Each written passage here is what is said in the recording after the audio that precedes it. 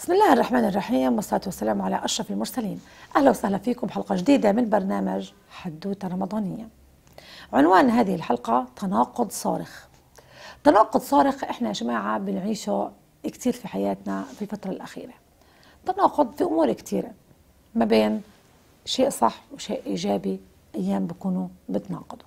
وكثير أمور بتعدي علينا وإحنا نفسنا المسلمين الملتزمين نتناقض فيها. يعني بتشعر إنه أحيانا في تناقض بين العبادة الشعائرية والعبادة التعاملية. بتشعر إنه هو إمام وخطيب و... أو بتشعر إنه هي حافظة القرآن ورائعة في كل شيء وفي نفس الوقت في لهم عبادات تعاملية سيئة في سلوكيات سيئة. فسموها هون الالتزام الأجوف أو التناقض بين العمل والعبادة. وهذا طبعا مش لازم يكون في حياة الإنسان بل خليني أتكلم إنه الفطرة السليمة ترفض هذا التناقض. من أكثر المتناقضات. اللي إحنا بنشوفها بحياتنا. مسلسلات شهر رمضان. تناقض غريب من نوعه. تناقض يثير الدهشة يثير الفضول يثير الكلام عن هذا الموضوع. مثل ما بالضبط ناس بتحتفل قاعدة بمثلا على سبيل المثال يعني لا أؤيد أنا يوم الأم وهذه الأم لأن الأم لها كل يوم. بيوم الأم ونازلة تعرض روايات عن عقوق الأم. طب هو بينفع هذا الكلام؟ هو بينفع هذا الكلام؟ إحنا قبل رمضان من حد موعينا من إحنا صغار ودائما الدعاء والشيوخ والكل بشجع بحفز في شهر رمضان. بس خلوني أحكي كمان إنه الصحابة والسلف الصالح كانوا من شهر رجب يبدأوا يقولوا شهر رجب شهر رجب هو شهر البذر شهر شعبان شهر السقيا شهر الحصاد هو شهر رمضان. وإن لم تبذر في رجب لن تحصد في رمضان. كلام كثير كثير كثير وكان يقول اللهم بلغنا رمضان واللهم تقبل منا رمضان قبل أو بعد ست أشهر من انتهاء رمضان. طيب. كل هذا الكلام يا جماعة.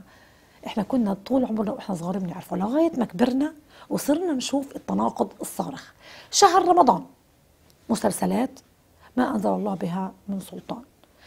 يعني الأداب الأخلاق الأمور اللي الإنسان لازم يحافظ عليها بتحس إنها انتزعت قيمتها من شهر رمضان. كيف يعني؟ ما عمرنا بحياتنا. تخيلنا إنه يكون مشهد العري مشهد طبيعي. صار طبيعي. ما عمرنا بحياتنا تخيلنا إنه يكون مشهد ست أو رجل قاعد في عائلة وبيحمل كاس خمر يكون طبيعي وصار طبيعي. ما عمرنا تخيلنا إنه القتل والبلطجة عبارة عن بطولة وفتوة. ما عمرنا تخيلنا إن المرأة كل ما كانت عاليه كل ما كانت أرقى. ما عمرنا تخيلنا إن الوضع يوصل فينا لهون.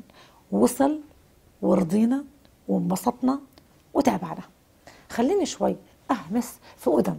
كل حدا بسمعني اليوم في هي الحدوتة. لنحكي شيء عن أصل السينما. أول ما طلعت الدراما العربية بدأت يعني أو صناعة الدراما العربية يا جماعة بدأت على يد اليهود. يعني كل ما نراه اليوم مخطط منذ زمن. كل الهجوم على الدعاة الهجوم على الشيوخ الهجوم على أي إنسان بيحمل الدين. لدرجة إن صرنا في نلاقي ناس مسلمين ملتزمين بيحكوا إحنا ما بنحبش الشيوخ. إحنا ما بنحبش الدعاة طبعا. ما دام صوروا إلنا بهيك طرق ما دام جسدت السينما والإعلام الشيخ والداعية كأنه وحش أو رجل لا يخاف الله أو إنسان وصولي وانتهازي وكل الصفات السيئة فيه رح يكون أكثر من هيك نلاقي ناس. الإعلام خطير. الإعلام باستطاعته إنه يقلب كل الموازين. يقلب الحق للباطل. في 30 سنة قدروا يقلبوا الإسدال والخمار والنقاب اللي كانت تحطها المرأة المصرية لا التنورة القصيرة أو ما يسمى بالميني جوب في 30 سنة أصبح اللبس هذا طبيعي قلبوه بالإعلام. هذه القضية ما أجت من اليوم ولا من امبارح ولا من قبل فترة. هاي القضية من زمان. بس خلوني شوي أسرح فيكم لشوي لحقبة زمنية قبل هذه الفترة. صناعة الدراما العربية نركز بدأت على يد اليهود يهود العرب. وكان معهم طبعا أقليات من المسيحيين والدروز وأقليات أخرى. الآن اللي أسسوا شركات الإنتاج وشركات الدعاية وصاروا ودور العرض وصاروا يحتكروا أجهزة التصوير ويستوردوهم ويصدروهم هم برضو نفسهم اليهود. إذا كانت اليهود هي المتحكمة بالسينما وبشيء اسمه اللي إحنا اليوم بنشوفه كله هذا الفن والتلفزيون والأمور اللي إحنا بنشاهدها. الكثير كمان أضف إلى معلوماتك من نجوم السينما في السابق كان أصلهم من اليهود وإن كنا نحن نجهل هذا الشيء. نعد أصابعنا. واحد اسمه توغو مزراحي. توغو مزراحي هذا مسمى له اسم عربي طبعا ما بيحكوا اسمه اليهودي لحتى ما حد يعرف اسمه أحمد المشرقي. هذا هو مؤسس أول نقابة للسينمائيين يهودي. كمان في يهودي نمساوي اسمه ستيفان روستي. هذا هو سفير النمسا في مصر تحول فجأة إلى ممثل وبدون أي مقدمات. نجوى سالم ممثلة كان البعض بفكرها إنها عربية وهي يهودية. ممثلة أيضا تدعى كاميليا وكذلك إلياس مؤدب وسلام إلياس وزكي الفيومي وأيضا نجمة تسمى ليلى مراد كانت أيضا يهودية. بعد هيك أسلمت بس كان أصلها يهودي. كل هذه الأمور إحنا ما كنا نعرفها. اذا كل هذه الأمور مش جديدة ابدا. وهذا التناقض مش جديد ابدا. وإن نشوف رمضان صار بالصورة اللي إحنا بنشوفها هذه ملهيات ملهيات ملهيات. وكأنهم قاعدين بيغتنموا إحنا بنغتنم الشهر للخير هم بيغتنموه للفساد والنفاق والإغواء. طيب البنية التحتية لا زالت حتى الآن قائمة والأساس هو الأساس اليهودي الذي تأسس قبل قرن. شو الهدف من هذا الكلام؟ ضرب الصحابة. كل اليوم طبعا بنشوفه. ضرب التاريخ. نضرب التاريخ كله. ما فيش شيء اسمه تاريخ الغزوات وهذا التاريخ هذا كله. اللي كله مليان عبر وقصص ورجولة وقيم وأهداف. كمان ضرب المرأة اللي هي المؤسس الأول للأسرة. طبعا المرأة أهم شيء. المرأة هي اللي بتخلف الأجيال المرأة هي اللي بتقود آه هذا الجيل لأنها عندها لما المرأة لما بدها تعطي بتعطي إنه عندها الكثير. صورة كاملة في القرآن اسمها النساء. شيء مش سهل. صاروا يضربوا المرأة.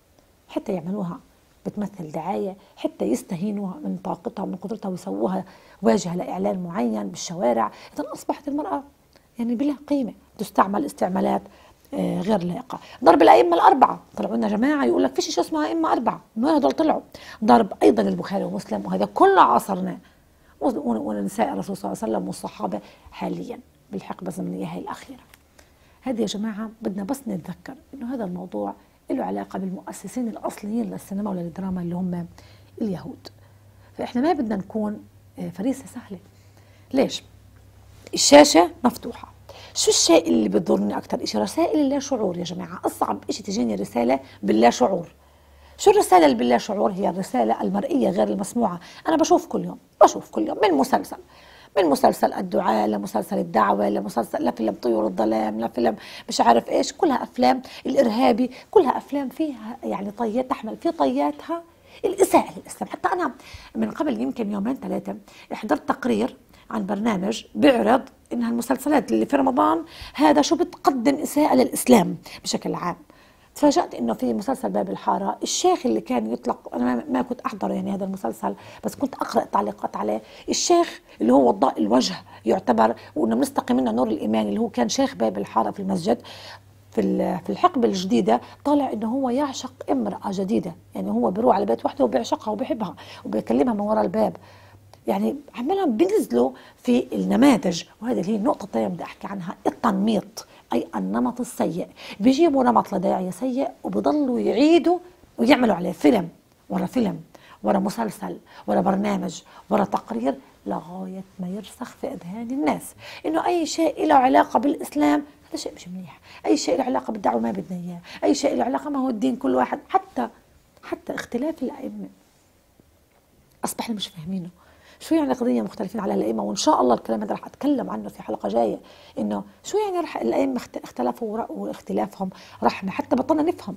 إحنا أمور معينة في ديننا بطلنا نعرف نجاوب عليها أو نفهمها. فأصل الحكاية يا جماعة هو إنه الإعلام طاقة جبارة بتستطيع قلب الحقائق فأصل العلاقة إني أنتبه لهذا الموضوع ما أكون مثل الكيس المصقوب. طول النهار برمضان بقرأ قرآن وبعمل صدقات وبسبح وبذكر وبهلل وبطيع الأم وبطيع الأب وعمالي قاعد يعني زي ما بيحكوها برتقي روحيا. وفي الليل أجي أحط كل هالحسنات في ثقب من قلب الكيس ينزلوا بمسلسلات هابطة في شهر رمضان. يعني يظهر فيها العراء ويظهر فيها أيضا العري والخمر وصحبة النساء كل المفاهيم اللي إحنا ما كنا نآمن فيها. أصبحت اليوم من العادات. البنت تصاحب شاب عادي البنت تطلع بدون إذن أبوها عادي. الست المتزوجة تكلم آه، واحد عادي. كل الأمور هذه أصبحت أمور ضمن العادة والإلف. وإذا وصل الموضوع لإلف المعصية نعرف أنه وصل الموضوع لأمر جدا خطير. وهيك بنكون وصلنا إلى نهاية هذه الحلقة. على أمل اللقاء فيكم حلقة جديدة. أستودعكم الله. والسلام عليكم ورحمة الله تعالى وبركاته.